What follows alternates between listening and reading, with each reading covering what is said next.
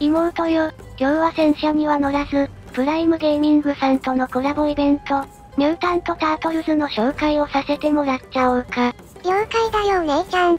タートルズさんといえば、ちょうどバトルパスでもコラボ中だよね。うむ。今回はそれに思いっきり関連して、ってことのようだね。そしたら早速報酬の紹介をさせてもらっちゃおうか。今回の目玉報酬は、主人公タートルズたちの師匠にあたる、ネズミのスプリンターさんと、タートルズモチーフの 2D スタイルという、豪華2個セットって感じなんだけど、ちょっと残念なことに専用ボイスはないようだね。あう。ボイスはちょっと残念だけど、ゼロパーク専有持ちの子なので、性能的にお得なのは間違いないよね。うむ。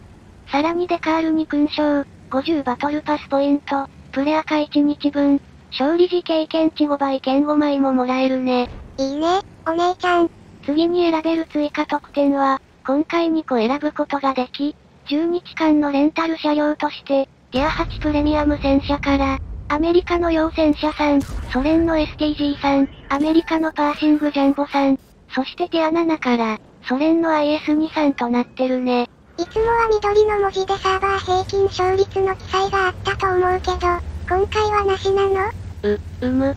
ちょっとティア8さんたちの勝率が芳しくなくて、一番高い要戦車さんですら47%台とあれだったので、今回はね。あわう。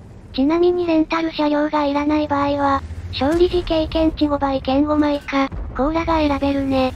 それからこれも恒例になるんだけど、今回も専用ミッションがあって、ティア4以上の子でランダム戦をスコア10位以内で勝利すると、搭乗員さんの経験値が2倍になり、さらにトークンが1個もらえるね。トークンを集めていくとさらに色々アイテムがもらえるけど、全部もらうにはトークンが90個必要だから、そこはちょっと大変だよね。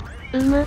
ただ今回は期間が5月2日までと、一月半近くあるし、ランダム戦で遊んでるだけで勝手に進むミッションになってるので、とりあえずイベントを受けておけば、意識せずともかなり進めそうではあるね。